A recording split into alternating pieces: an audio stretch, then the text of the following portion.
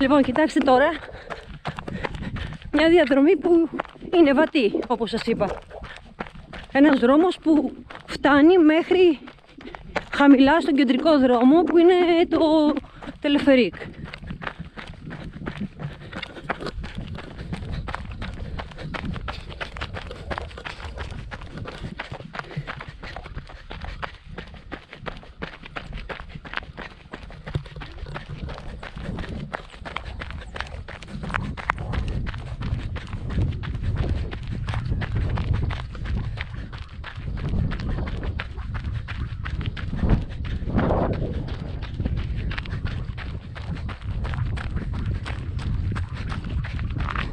Το χειμώνα βέβαια να σας πω ότι έχει πάρα πολύ χιόνι εδώ και ειδικά αυτή η πλευρά η πίσω γιατί δεν το, δεν το καθαρίζουν αυτή τη μεριά.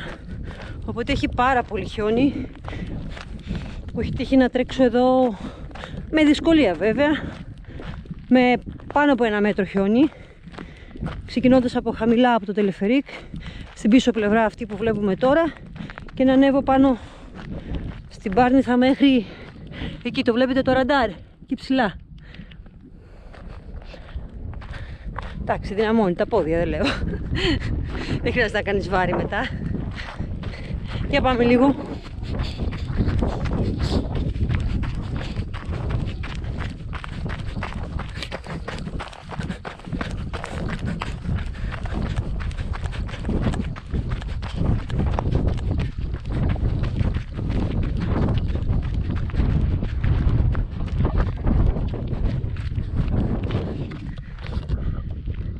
Τι λέτε, ωραία.